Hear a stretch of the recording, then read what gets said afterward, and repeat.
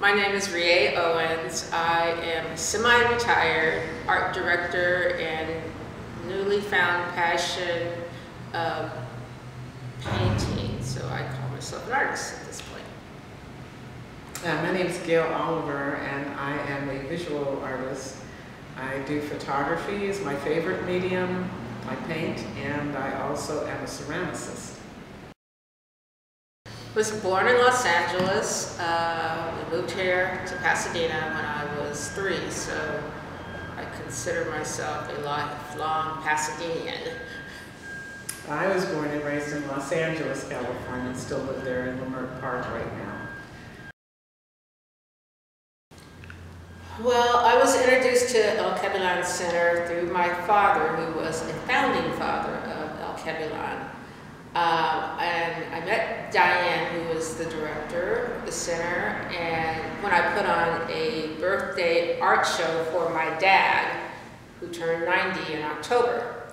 And Diane suggested that we do an art show every month and asked if I would help her. So the month of February, we did an art show with my dad. So she said, your show's next. And I said, oh, okay. And I said, Gail, would you do a show with me? what did you say, Gail? What am I going to show? I said, sure, let's do this. Riea and I have been friends since the late 70s, so we've known each other all our adult life.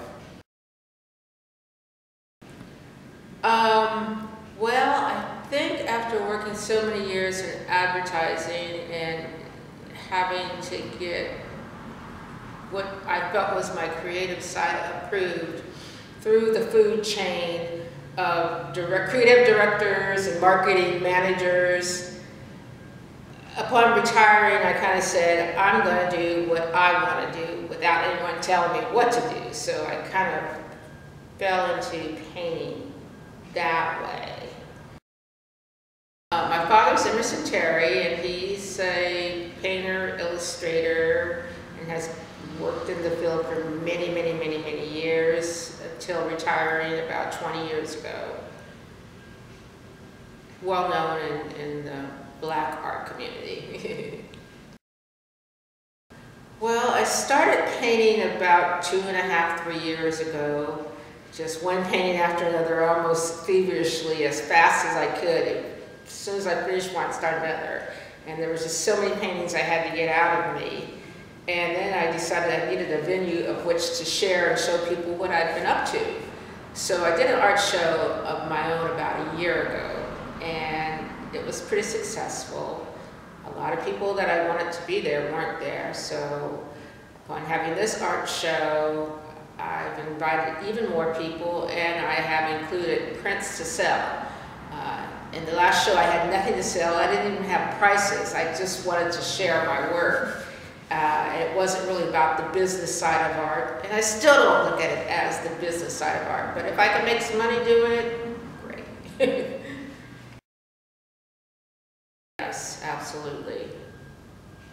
Absolutely. I see myself painting, be it digitally on an iPad or on a campus with brush or with chalk on paper. Uh, I see myself creating from here on out? I've been doing photography since 1976. My father showed me how to use his camera. Unfortunately, that same day he, day he passed away. Isn't that interesting? So I'm self-taught and um, I have a mentor now, but I usually just go out and take pictures of beautiful stuff. I like landscape and um, things in nature. And recently I started doing real estate and architectural photography. So I just do, I love photography. It's a great medium to capture and preserve things like flowers. Catch a flower and um, in its all its glory and you immortalize it. So I, I love to record stuff like that. No, I'm also a graphic designer, and that's how Riea and I met each other years ago working at an ad agency. I um, also paint, and I am now doing ceramics. So I like to say I'm a visual artist because I like to piddle in all art forms, you know, and play. And um, it's fun. It's like playing as an adult. Well, I think when you enjoy what you do, you'll never work again. I know everybody's heard that a million times, but it's almost like um, when I go to work, I am playing. It just happens that some, you know, most times it pays the bills, but it really doesn't matter. As long as you're doing something that you love to do, then, um, you, know, it's kind of, I feel really lucky and blessed that I can do that. Now, this is funny. I was actually a biology major. I was planning to go, I went to Cal State LA, I was planning to be a dentist. And um, I had a tooth pulled and it hurt, and I decided I couldn't do that to anybody. So then I switched to art, unbeknownst to my parents, but I only took about a class or two. What actually happened is I got thrown into a job where they taught me how to do graphic design. And um, in two weeks, I was producing a magazine called Black Radio Exclusive. And that was my first job, 1977. So that's how I learned how to do this. And ever since, and, and I have to also give my parents credit. They fostered creativity at a young age with me. Um, they were both artists in their own rights, but I wasn't allowed to get the paint by numbers coloring books, you know, the things like that. I, they'd give me a pad of paper, a pen, crayons, and, and have me do my own thing. And so I've been creative all my life.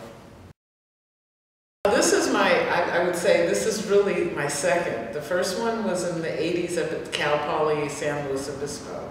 And that one was my paintings and, and stuff like that. So this is really just the second one. So this is pretty exciting. It's the first show that I've done that shows my photography though, because now I have some, something to show. Oh, I look forward to having more shows. I can't wait to start um, taking pictures. I, I'm, I'm studying vertical panoramas. Usually when you see a panorama, they're horizontal. I'm starting to do them vertically. So I'm going to do a whole study, I've already planned for the next show, a whole study of vertical panoramas to give other people a perspective. I did a palm tree and it's kind of interesting. It was said that it looks like you're standing next to it, as opposed to it being a picture of a palm tree. It's the perspective of you standing on the ground looking up at the palm tree and it gives you the feeling that it's in the room. I think it's important, but I think that it's more relatable for us, black art. I mean, I relate more to the images of black people or the motherland than I do um, other races, although I do feature a lot of races in my work. But I, I, I can relate more to black art in, and, and Africa. I just do pretty stuff. So I don't know, I've asked other artists about doing black art, but I'm just a photographer of God's, you know, beauty. So I wouldn't classify it as black photography or I'm just a black person that does art. And I think it's important that we support each other.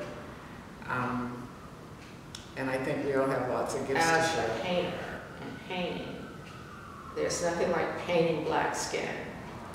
Because the way black skin reflects highlights, the shadows, there's so much more to work with. And, you know, no matter what I paint, I always come back to painting black people. The address is 1453 Raymond, North Raymond in Pasadena, and that's north of Orange Grove. And Sunday, uh, August, was April 10th, April 10th, from 2 to 5. yes. We're gonna have a lovely reception with um, light snacks. Come meet the artists. We're kind of cool and groovy. And the exhibit will be uh, starting today, which is Wednesday, April 6th, until April 14th, which I believe is a Wednesday also. So you have a full week to come view the art. If you don't have an opportunity to come to the reception, which would be the best time to see it, but if you don't have an opportunity for that, stop at the Akelbulan anytime during those dates from one PM to eight PM and just take a look.